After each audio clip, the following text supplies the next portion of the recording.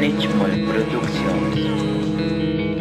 ¿Qué tal a todos? Soy Sanimo y este es un nuevo video tutorial para Nichmol Productions y en esta ocasión les enseñaré a cómo hacer el intro de Marvel editada con tu nombre. Bueno, para empezar descargaré la canción que está en la descripción del video. Una vez que la hayamos descargado, les imprimimos en WinRAR dando clic derecho, extraer ficheros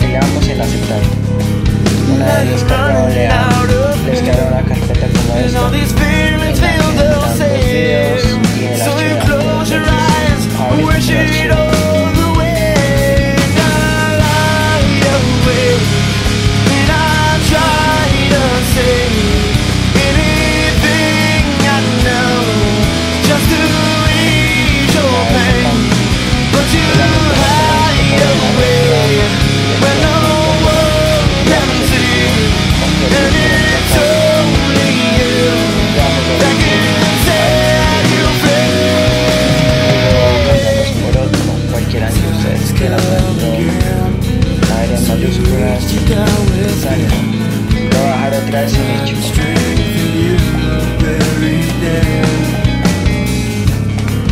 Una vez hecho eso,